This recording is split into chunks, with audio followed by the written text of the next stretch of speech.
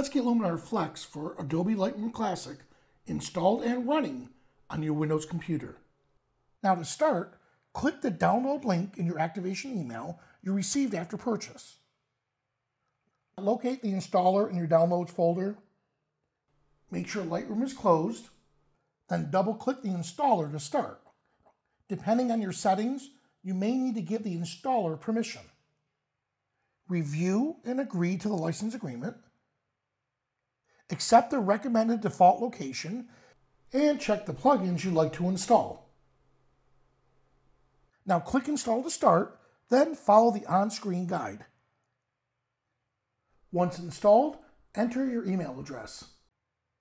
Please opt in to receive editing tips, inspiring stories, product updates, and more from Skylum. Click the Finish button to complete the installation. Now, let's try out Luminar Flex with Lightroom. Make sure Lightroom Classic is open and select an image. Choose Photo, Edit In, and choose Luminar Flex, or just right-click on the image and select Edit In Luminar Flex. A new dialog opens. Depending upon the type of file selected, you'll need to make a choice. For our example, let's make additional enhancements so select Edit a copy with Lightroom adjustments. Then click Edit. Now if the plugin doesn't appear, don't worry. I'll show you how to manually install it in just a moment. If this is the first time using the plugin, a new dialog box opens so you can register your software. Enter your email address and activation key from your purchase receipt.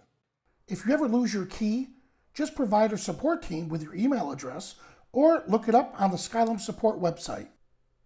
Let's apply a Luminar look or make any adjustments you want.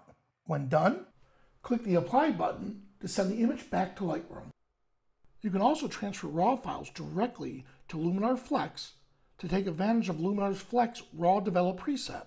Choose File, Plugin Extras, and select Transfer to Luminar Flex.